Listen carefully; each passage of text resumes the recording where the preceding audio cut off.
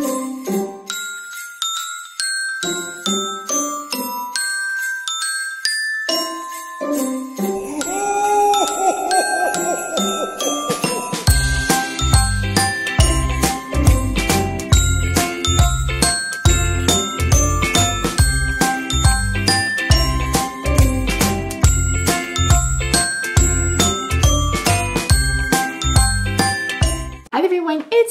The Jolly Fat Elf. Thank you so much for joining me. In today's video, I have another card in my 2022 holiday card series.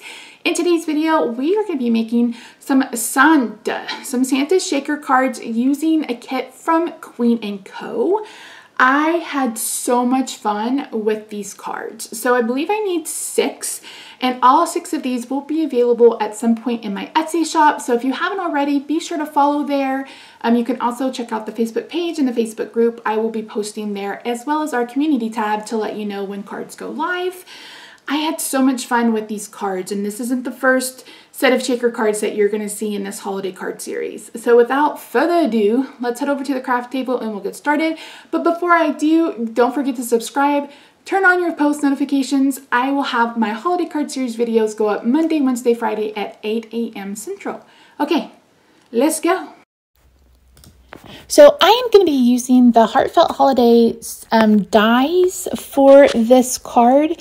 Um, I've gone ahead and bought the outline dies and I'm going to tell you if you're someone who wants to get more use out of your dies or your kits, um, I would go ahead and purchase the outline dies.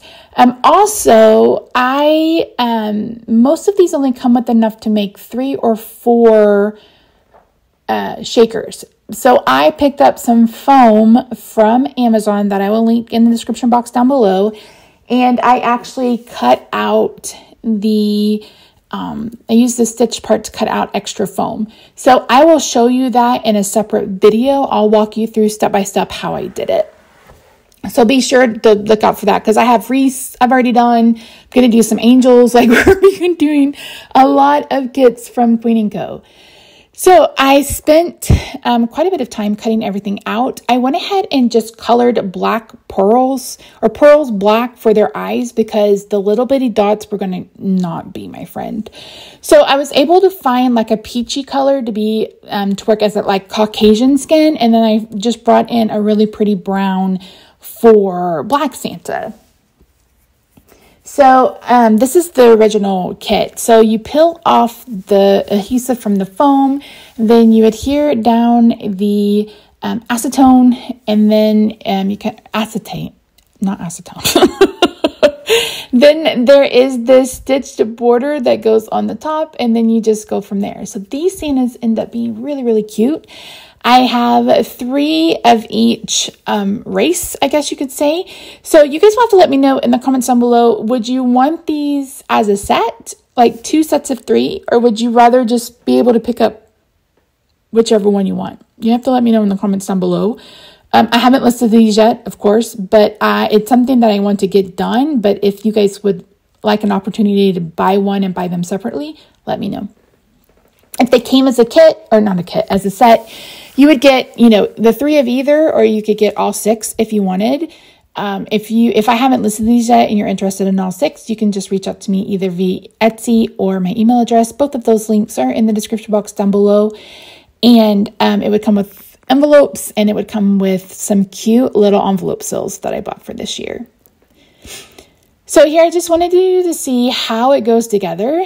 Um, I went ahead and did white for all their beards and on this is the cutest. Now some of them look a little different because well, it's me. What do you expect? So some of them the face is a little bit longer. This one the face is kind of shorter.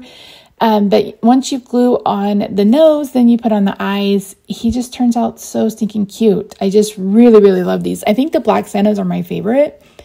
Um, and I have to figure out where I got this peach cardstock because I only had a little bit of it, but turned out really, really cute. And since I purchased the foam and already have acetate, etc., I can make as many of these as I want. And again, that'll be something that I share with you going forward. But you can kind of see me doing it here. I don't know why I didn't think that I could cut it out with the outline die.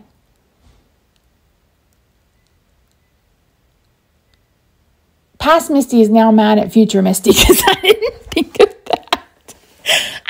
think of that when that happened. So that's why you see me cutting around the beard. Why did I not think to use the outline die? I have no idea. So I brought in a bunch of different paper. I have all of this scrap paper from Doodlebug. I brought in some paper from My Favorite Things. I brought in some paper from Photoplay. Um, I knew that I wanted some bright and vibrant colors. So I do have a couple that are traditional. Then I have a few that are non-traditional. And I only have one purple. One lone black Santa ended up on a purple horizontal card. The rest of them are all vertical.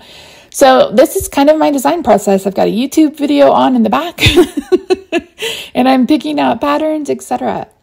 So once I've done it, I have these kind of cute label dies from, I believe these are some from C, CC Designs.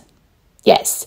And I cut out one, um, the next smallest one, like the the biggest one, and then the next biggest one. So the next biggest, biggest one cut out the pattern paper.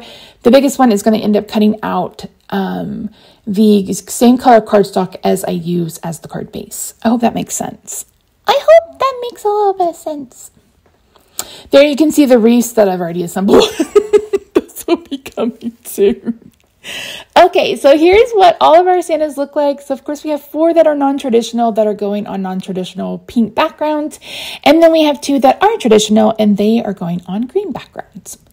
So now I'm looking for colors to work as my card layers.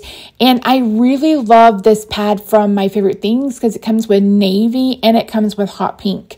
Um, if I can remember, I will link it down below, but it's so stinking pretty. And I don't even think it's a Christmas one. I think it's a birthday one now that I think about it. Anyway, so this is what I decide on for the actual card um, layout. And I went ahead and glued all those together, cut them out with my um, wonky rectangle die for my favorite things. And now I'm getting everything adhered to a card layer. These are A2 size cards. So the card layers are cut to four and a quarter by 11, scored at five and a half, or five and a half by eight and a half, scored at four and a quarter. And then I've put all of them on, um, all of them have white on the inside. You guys have seen me do that a million times. That's why I kind of left it out. So I'm just adhering the labels flat to the um, card behind it because these are going to stick out. They're already going to stick up is what I'm trying to say. So I think the navy and the purple one ended up being my absolute favorite. I love this paper. This is from Penny Black from years and years ago. I know they don't make it anymore, but I absolutely loved it. So I'm just adhering them all down with a liquid glue. And then I'm going to go ahead and bring in um, a sentiment. And I'm going to be heat embossing, so I'm pulling out more of my scrap cardstock. I keep my scrap cardstock in like this Ziploc bag and it just stays on the corner of my desk. And I try to pull from there um, before I pull from my big paper storage. So I am adding the sentiment toward the bottom so I can move this um, without having to reposition the stamp. So I've used a um, static remover and then I'm stamping in Versamark ink and then I'm adding a white embossing powder. Um, I have since moved away from that embossing powder storage because I absolutely hate it. it does like the powder gets everywhere. So anyway, after I heat that, I'm going to bring in the small wonky rectangle die and cut all those sentiments out. And then I'm going to adhere all the sentiments with some of the Scotch foam adhesive um, and they're going to be on the bottom right of all of the um, cards. And then I'm going to bring in some glitter dots. Um, I believe the ones I'm using today are all from Stampin' Up. I don't know if Stampin' Up still carries them or not.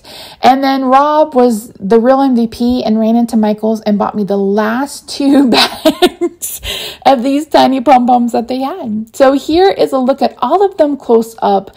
Thank you so much for joining me today. I really do appreciate you. Don't forget, I'm here Monday, Wednesday, and Friday at 8 a.m. with cards from the holiday card series. Again, if you're interested in these, feel free to reach out to me. But let me know in the comments down below do you think you would rather have a set of these or if you'd rather just buy a one off? So that's it. All right, guys. Thank you so much. I'll see you Monday for another video. Bye for now.